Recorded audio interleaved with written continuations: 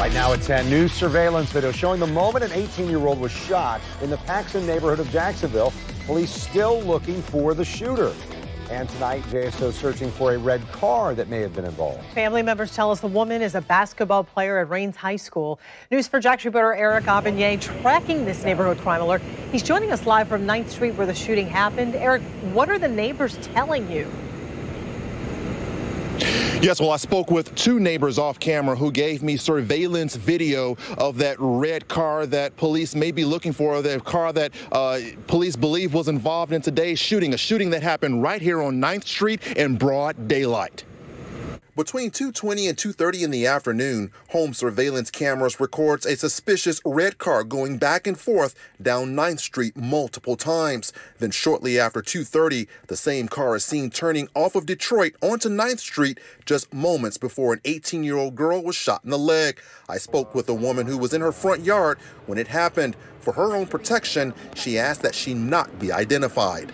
Just a red car. It was sitting down there and uh and uh she was walking along there and the red car dashed down the way and after a while I heard the, the shots pow pow pow pow and that was it and it blew it away. And you saw the red car speed away after Yeah. that? You didn't see her actually get shot though, did you? No. Witnesses who didn't want to go on camera say the victim was found right here in her next door neighbor's yard, right behind this brick mailbox. That homeowner didn't want to comment on camera, but confirmed her neighbor was left injured in her front yard. Another neighbor who heard the gunshots but didn't want to go on camera says it sounded like the shots were fired while the car was still in motion before it sped off. Shortly after 5 p.m., the girl's family returned home. Did we know if she was the intended target?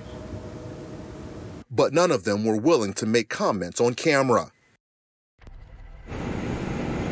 Now, off camera, family members tell me the girl had just turned 18. They said she's going to be okay and that she's recovering uh, from her injuries. They also say that she plays basketball for Raines High School. Reporting live, Erik Avanier, Channel 4, the local station. Eric, I noticed in your report that nobody wants to be uh, seen on camera. So is it really that much of maybe fear retaliation in that specific community?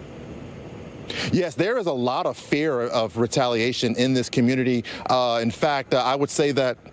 Well, for one thing, you have to remember that the shooters have not been captured, shooter or shooters have not been captured. And two, uh, there was a point in which I was talking with one neighbor off camera, and he was so nervous about being seen around a news reporter, let alone talking to a news reporter, that you could see him looking over his shoulder and just looking around to see who was watching the both of us talk, watching him communicate to me. So that is just how much fear there is in this community uh, when it comes to retaliation. Kent?